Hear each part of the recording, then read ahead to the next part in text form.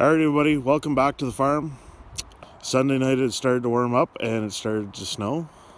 And it snowed all day yesterday and a little bit last night. And all said and done we got about 20 centimeters of snow, um, or 8 inches. And now uh, the cleanup begins. Uh, it's a nice day now. It's only minus 1 or minus 2. There's a little bit of a breeze but not bad. And uh, but Thursday and Friday or Wednesday, Thursday, or anyway, sometime in the next couple days, they're forecasting um, six or seven degrees Celsius above freezing and rain. So that's going to make an absolute mess. And I want to get rid of some of the snowbanks and stuff like that before they start to melt and turn into ice blocks and everything else. So today's going to be snow removal day. We'll throw some footage together and show you what we're up to. Um, as far as equipment goes, um, turn you around here for a second. Um, plow truck, good old white lightning. You've seen her before in some videos. Nine foot western plow on the front.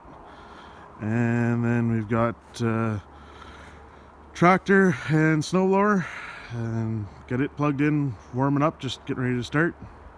So we'll show you what we're up to.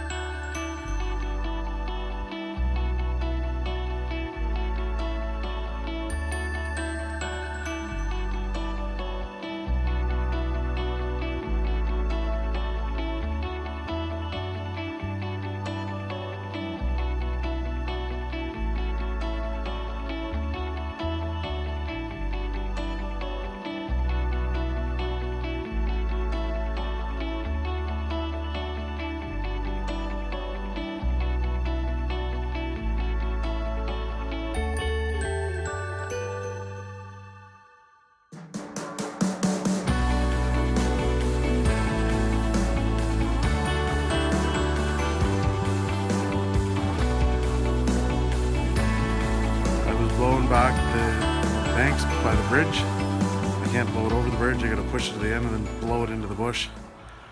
And there's footage of it actually. I was blowing along and all of a sudden the uh, PTO shaft had an issue.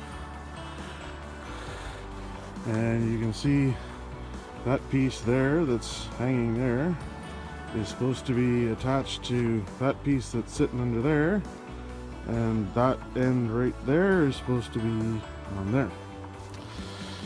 So, grab some tools, tear into it, and hopefully get it fixed.